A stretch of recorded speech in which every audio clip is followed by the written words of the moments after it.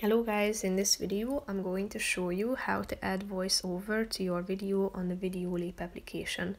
But first I just want to mention, don't forget to subscribe to my channel because at 10,000 subscribers I am going to show you my whole YouTube revenue statistics and growth strategy, how to make money online. Now let's jump into it. First of all, open the application on your phone and click on this plus icon down below and after that select the video that you would like to edit. Click on the add to project button down below and after that select the editing mode. Click on it and tap on continue at the bottom of the screen. After that, click on the audio button, which is the third option down below, and tap on the voiceover feature.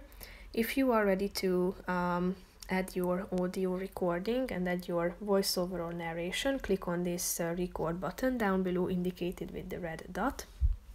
Then you can uh, start speaking once you have uh, allowed the or enabled the application to have access to your microphone. So click on the OK button, start speaking and when you are done, click on this button again.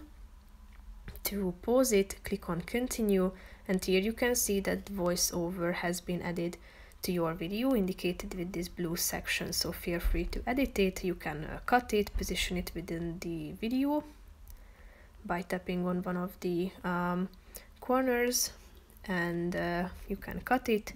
You can also set the volume on the slide mute it add beats fade it adjust the speed and other options.